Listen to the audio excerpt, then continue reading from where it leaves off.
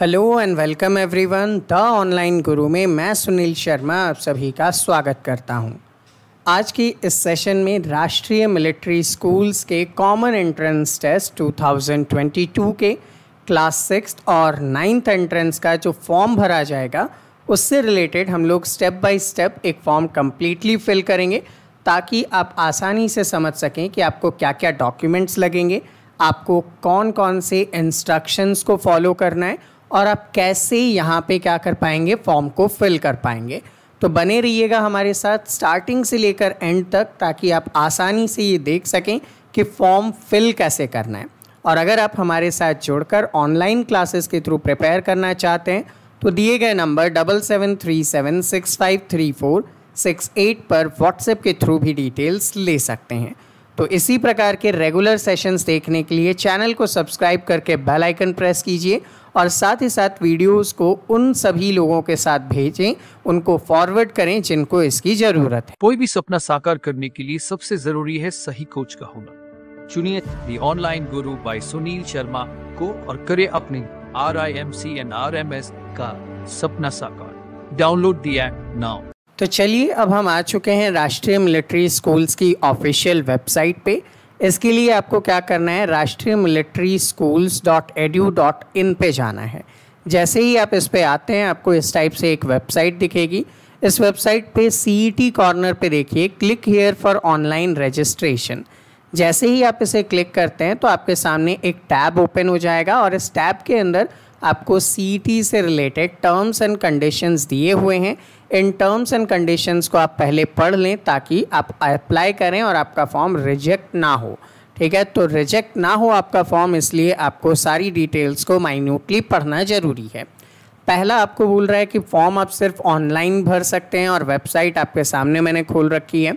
Second आपको दिया गया है कि only one application form is to be submitted का मतलब क्या होता है? आप एक बच्चे का एक क्लास के लिए सिर्फ़ एक ही फॉर्म यहाँ पे फिल करेंगे। ठीक है? दूसरा फॉर्म यहाँ पे आप फिल नहीं कर सकते। If a candidate submit more than one application form अगर आप एक से ज़्यादा फॉर्म भरते हैं सेम लेवल के लिए सेम क्लास के लिए तो all the forms all the application form shall be summarily rejected without any notice सारा फॉर्म आपका जो है, वो रिजेक्ट कर दिया जाएगा। तो ध्यान रखें, सिर्फ़ एक ही एप्लीकेशन फॉर्म आपको एक लेवल के लिए फिल करना है। Candidate must follow the instruction strictly आपको इंस्ट्रक्शंस को पूरा यहाँ पे मानना है। अदरवाइज़ क्या कर देंगे? डिसक्वालीफाई कर देंगे।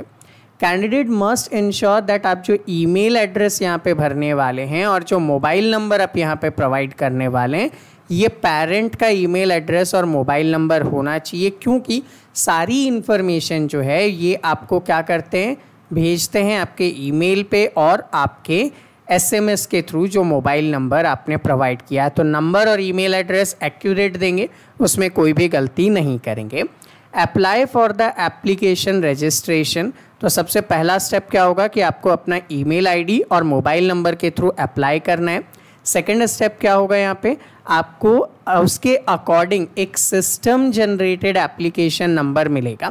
उसी सिस्टम जनरेटेड एप्लीकेशन नंबर को आपको ईमेल और आपको एसएमएस के थ्रू भेजा जाएगा। इसे आप संभाल के रखेंगे, क्योंकि आगे आपका एडमिट कार्ड डाउनलोड हुआ या फिर आपका रिज़ल्ट हुआ, वो सब इसी के थ्रू मिलेगा।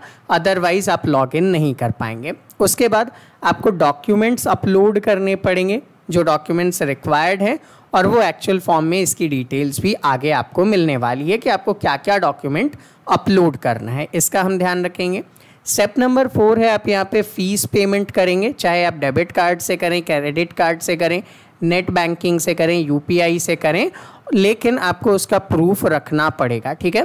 क्योंकि अगर मान लेते हैं बैंक का कोई एरर होता है तो वो ऑटोमेटिकली आपके पास अमाउंट रीसबमिट हो जाएगा, वापस आपको मिल जाएगा। फिर कुछ दिनों बाद जब आप सक्सेसफुल पेमेंट कर चुके हैं, आपको एक रजिस्ट्रेशन नंबर भेज दिया जाएगा email address and mobile number पे। जिसके थ्रू आप डाउनलोड कर सकेंगे अपना एक्नॉलेजमेंट रिसिप्ट कि भाई आपका फॉर्म भरा जा चुका है। ठीक है, इसके लिए आपको कुछ दिन वेट करना पड़ सकता है। Candidate can make the fee payment immediately after successful submission जैसे ही आप सबमिट करते हैं, आप फ़ीस पेमेंट कर सकते हैं। The final submission of C E T exam application form complete नहीं होगा जब तक आप step three and four complete नहीं करते हैं। आरएमएस किसी भी टाइप का रिक्वेस्ट एक्सेप्ट नहीं करेगा फ़ीस से रिलेटेड रिजेक्ट हो गया हो तो वापस से रिलेटेड इस टाइप का कुछ भी एक्सेप्ट नहीं करेगा।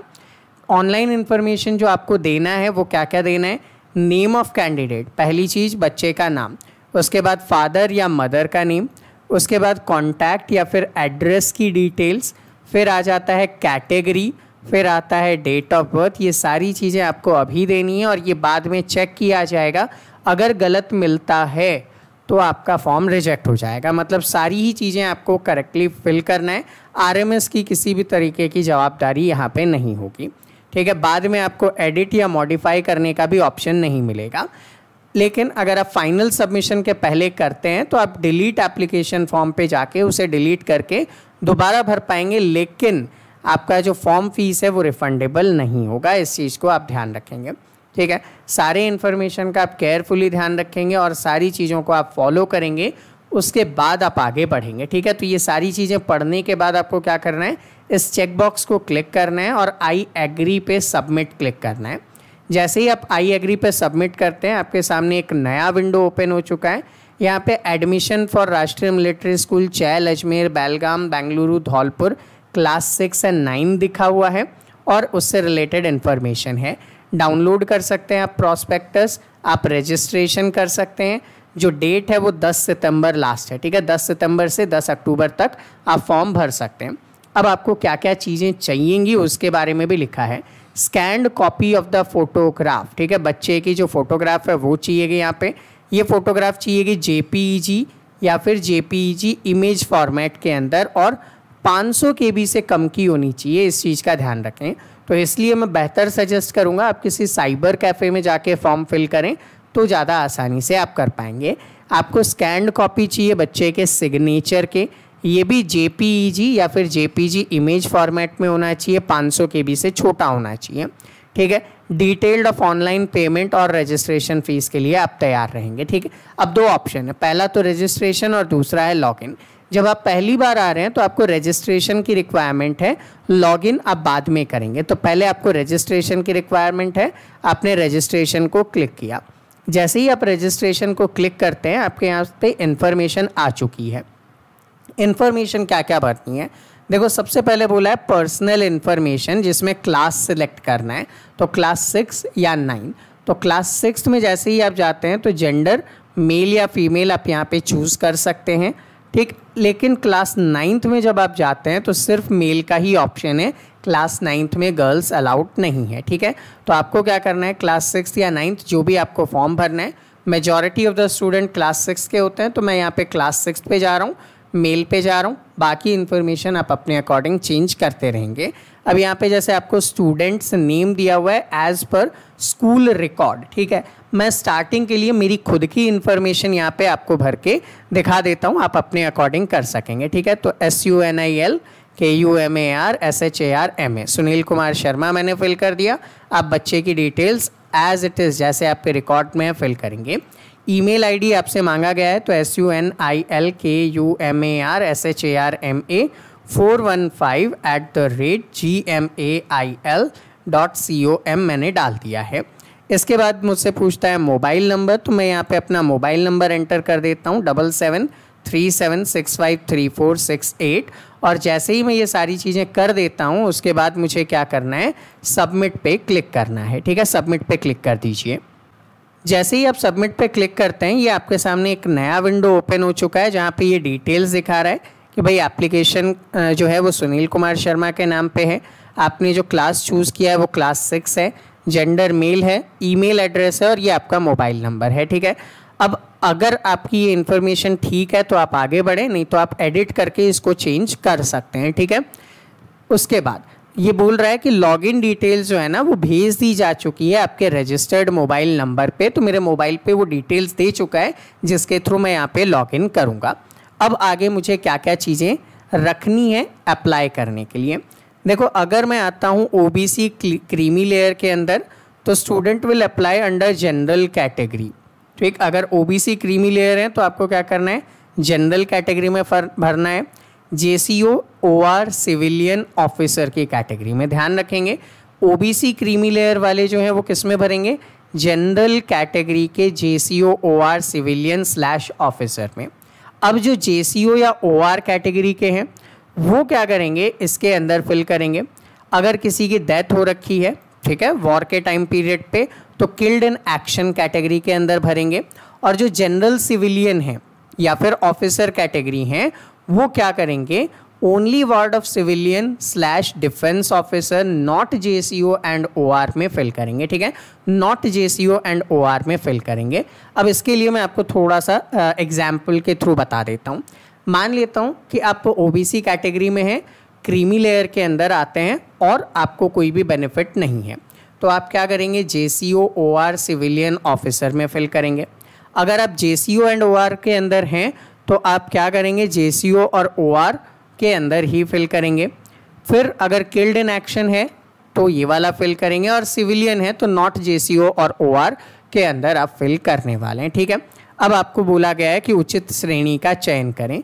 तो मैं यहाँ पे, चूँकि जनरल कैंडिडेट का हूँ तो देखिए यहाँ पे आ रहा है जनरल ओबीसी क्रीमी लेयर या नॉन क्रीमी लेयर तो अगर मैं जनरल या ओबीसी में हूँ तो ऊपर वाला मैंने सेलेक्ट कर लिया। आप अपने अकॉर्डिंग यहाँ पे चूज़ कर सकते हैं। उसके बाद सब कैटेगरी पूछा है। अब सब कैटेगरी बताओ। मैं J C O R killed in action civilian या डिफेंस में आता हूँ। तो भाई मैं सिविलियन में आता हूँ तो मैं सिविलियन पे क्लिक करूँगा। अगर आपके पेरेंट जे सी ओ या ओ आर कैटेगरी में हैं तो आप J C O and O R को सिलेक्ट करेंगे। अगर किसी की डेथ हो रखी है मदर या फादर की वॉर टाइम पे तो किल्ड इन एक्शन करेंगे। और अगर डिफेंस ऑफिसर्स के बच्चे हैं, लेकिन JCO या OR की कैटेगरी में नहीं है, ठीक है तो आप डिफेंस ऑफिसर्स चूज़ करेंगे, ठीक है? तो अब यहाँ पे मैं क्या कर देता हूँ, मैं यहाँ पे सिविलियन क्लिक कर लेता हूँ, ठीक है? आप अपने अकॉर्डिंग यहाँ पे चूज़ कर सकते हैं। अब देखो डेट ऑफ़ बर्थ आपको भरना है। तो मान लेते हैं, मैं अपने अकॉर्डिंग डेट ऑफ़ बर्थ ले लेता हूँ ट्वेंटी फाइव सेप्टेम्बर और उसके बाद यहाँ पे ईयर है। तो ईयर दस, ग्यारह, बारह, तेरह वाली भर सकते हैं क्योंकि ऑलरेडी आपने पढ़ा है कि यहाँ पे ये आएगा। तो मैंने अगर 2010 लिया तो देखो मैं आउट हो गया। इनवैलिड डेट ऑफ़ बर्थ है। तो अगर मैं इसको कर देता हूँ जनवरी तो भी इनवैलिड है। 2010 वाला नहीं भर पाएगा। अगर 11 में हूँ तो या फिर मैं 13 में हूँ, ठीक है, या फिर मैं 12 के अंदर हूँ तो मैं एलिजिबल हूँ, ठीक है? तो इसका मतलब क्या है? अगर मैं क्लास सिक्स के लिए भर रहा हूँ मेरा जो बर्थ है वो एक अप्रैल 2011 से इकतीस मार्च 2013 के बीच में है तो तो मैं भर पाऊँगा। ठीक है? डेट ऑफ़ बर्थ का ध्यान रखें। एक अप्रैल 2011 से इकतीस मार्च 2013 के बीच में हूँ, जब तो मैं इसे भर पाऊँगा अदरवाइज़ नहीं भर पाऊँगा। नाइन्थ क्लास के लिए एक अप्रैल 2008 से इकतीस मार्च 2010 तक वाला ही भर पाएगा अदरवाइज़ नहीं भर पाएँगे। और अगर आपने किल्ड इन एक्शन चूज़ किया है ना तो आपको सिक्स मंथ का रिवेट यहाँ पे मिल जाएगा।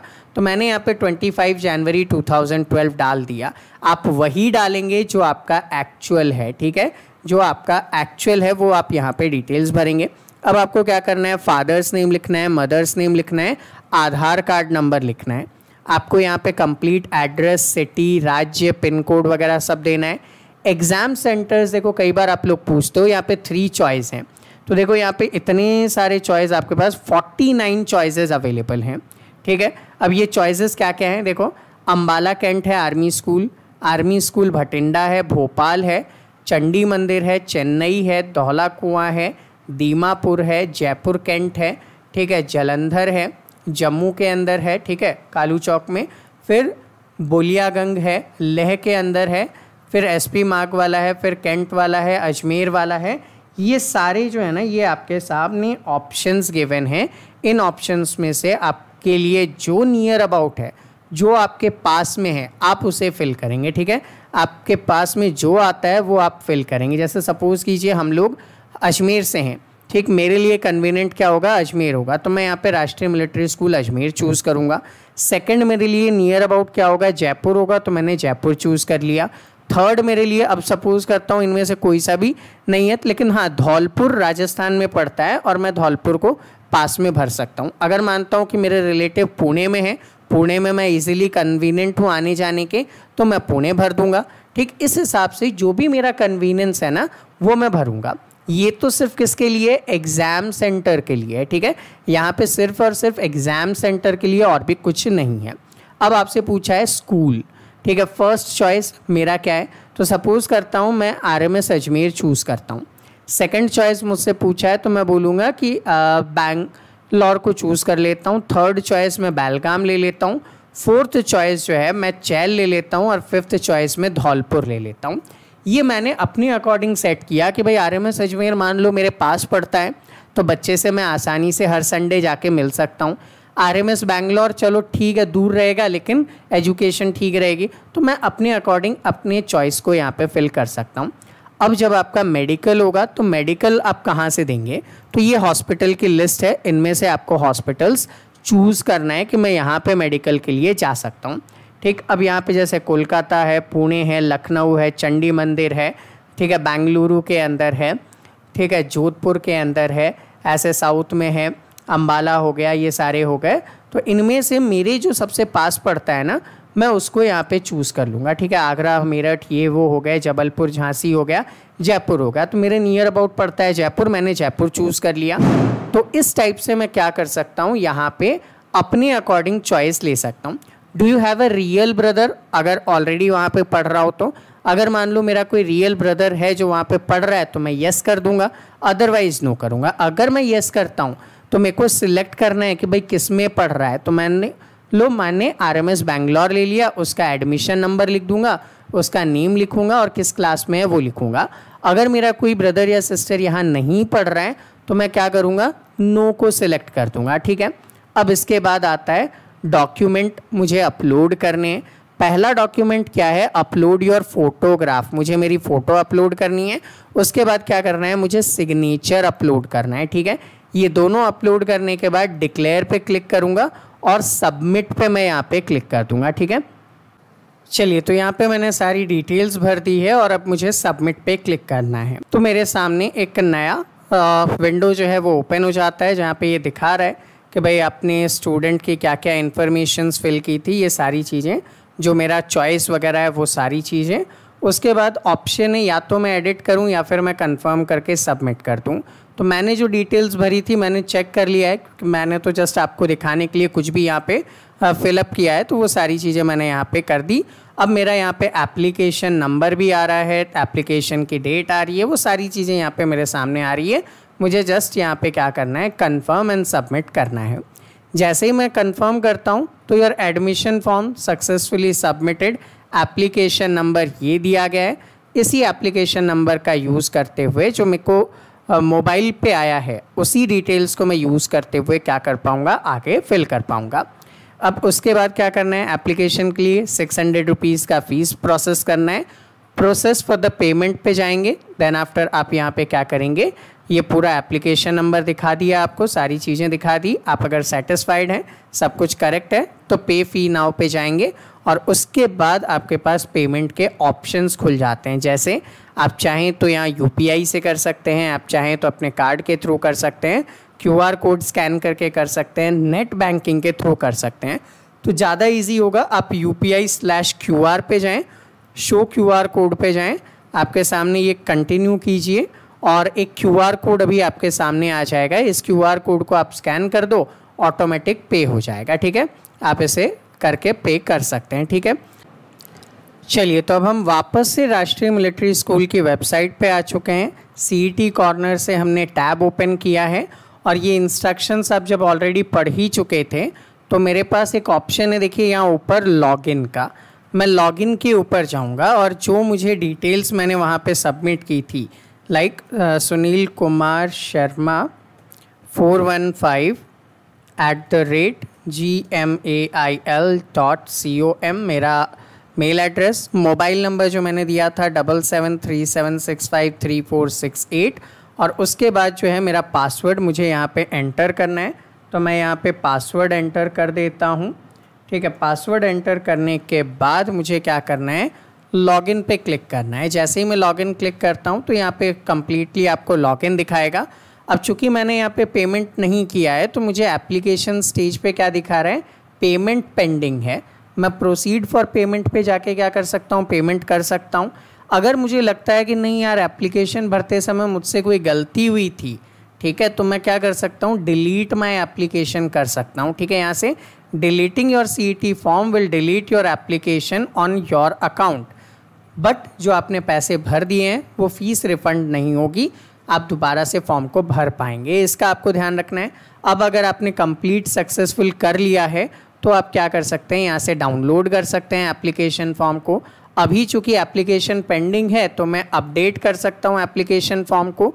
जो भी मैंने डिटेल्स दिया था, उसे मैं जाकर डिक्लेरेशन में क्लिक करके क्या कर दूँगा सबमिट कर दूँगा तो वो अपडेट हो जाएगा। अगर मुझे लगता है कि ठीक है, सब कुछ फुल एंड फाइनल है पेमेंट करना है तो प्रोसीड फॉर पेमेंट पे जाके मैं यहाँ पे क्या करूँगा योर एडमिशन फॉर्म सबमिटेड ये मेरा नंबर बता दिया इसने। अब मुझे फ़ीस पेमेंट करनी है। मैं प्रोसीड फॉर पेमेंट पे जाके सेम एज प्रोसेस कंटिन्यू करके यहाँ पे क्या कर दूँगा? पेमेंट कर दूँगा और फिर यहाँ पे सारी डिटेल्स कवर अप हो जाएगी। तो स्टूडेंट अब हम आ जाते हैं पेमेंट ऑप्शन पे और मैंने यहाँ पे पेमेंट ऑप्शन सेलेक्ट कर लिया है और इसी के साथ मैंने जो है वो मोबाइल से इसे स्कैन करके पेमेंट कंप्लीट कर दिया है। जैसे ही मैं पेमेंट कंप्लीट करता हूँ, यहाँ पे मेरे पास सक्सेस आ जाता है और सक्सेस आने के बाद डाउनलोड करने का ऑप्शंस मिल जाता है that your payment for the admission fees has been successfully made application number ये है। You will receive an email with the detailed of your payment and you can download the P D F format of application तो मैं यहाँ से क्या कर सकता हूँ? डाउनलोड भी कर सकता हूँ, जो मेरे पास यहाँ पे आ चुका है। चूँकि मैंने बाद में ऑप्शंस भी चेंज किए थे, इस वजह से एप्लीकेशन नंबर चेंज हो चुका है। अगर मैं इसे ओपन करता हूँ तो ये सारी चीज़ें जो मैंने यहाँ पे फिल किया था, वो मेरे सामने आ चुका है, ठीक है? तो ये मेरे पास आ चुका है। अब चलिए मैं एक बार लॉग आउट करके वापस लॉगिन करके आपको बताता हूँ। जब मैं लॉग आउट करके वापस से लॉगिन करता हूँ तो मेरे पास सेम डिटेल ठीक है? और इसके बाद मैं लॉगिन पे जाता हूँ तो ये लॉगिन हो चुका है। अब देखिए एप्लीकेशन स्टेज पेमेंट मैंने डन कर दिया है, ठीक है? अपडेट कर सकता हूँ मैं एप्लीकेशन को, ये सारी डिटेल्स मेरे पास आ चुकी है, ठीक है? मैं यहाँ पे क्या कर सकता हूँ? डाउनलोड कर सकता हूँ एक्नॉलेजमेंट फॉर्म यहाँ से, ठीक है? डाउनलोड कर सकता हूँ एप्लीकेशन फॉर्म अब मैं चाहूँ तो अपडेट कर सकता हूँ एप्लीकेशन फॉर्म को तो जैसे ही मैं अपडेट पे यहाँ पे जाता हूँ, वो सारी चीज़ें जो थी, कुछ अपडेट करने लायक है नहीं यहाँ पे। हालाँकि जो इंस्ट्रक्शन में इन्होंने दिया था कि बिफोर बिगनिंग रजिस्ट्रेशन हमें क्या चाहिए? कैटेगरी सर्टिफिकेट चाहिए, फिर डेट ऑफ़ बर्थ सर्टिफिकेट चाहिए, फिर फोटोग्राफ चाहिए सिग्नेचर चाहिए। तो फोटोग्राफ और सिग्नेचर तो लिया डेट ऑफ़ बर्थ का सर्टिफिकेट नहीं लिया है और कैटेगरी सर्टिफिकेट इन्होंने अभी तक हमसे नहीं मांगा है और टोटली ये क्या हो चुका है? फॉर्म सबमिट हो चुका है, ठीक है? टोटली फॉर्म क्या हो चुका है? सबमिट हो चुका है, मैं यहाँ पे सबमिट पे क्लिक करूँगा। ओवरऑल ये सारी चीज़ें आ चुका है। एप्लीकेशन स्टेज क्या है? पेमेंट यहाँ पे डन कर चुका हूँ मैं। अब जैसा इन्होंने बोला फाइव टू सेवन डेज़ के बाद आपके पास ईमेल के थ्रू आएगा तो मैं इससे एप्लीकेशन का जो एक्नॉलेजमेंट है, वो भी डाउनलोड कर सकता हूँ। मैं एप्लीकेशन फॉर्म भी डाउनलोड कर सकता हूँ। तो ये था हमारा आज का प्रोसेस सो आई होप आप सभी को आज का सेशन आसानी से समझ में आया हो। फिर भी अगर कोई डाउट या कोई क्वेरी है तो आप नीचे कमेंट सेक्शन में कमेंट कर सकते हैं।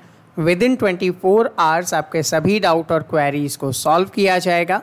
और अगर आप हमारे साथ जुड़कर R I M C R M S all India Sainik school entrance exam या जवाहर नवोदय विद्यालय जैसे एंट्रेंस एग्ज़ाम्स की प्रिपरेशन करना चाहते हैं तो दिए गए number double seven three seven six five three four six eight पर व्हाट्सएप के थ्रू भी डिटेल्स ले सकते हैं। साथ ही साथ डेमो सेशंस के लिए आप हमारे एप्लीकेशन द ऑनलाइन गुरु को प्ले स्टोर से भी डाउनलोड कर सकते हैं, जिसका लिंक नीचे डिस्क्रिप्शन में दिया गया है। तो मिलते हैं आपसे अगले सेशन में, तब तक के लिए जय हिंद।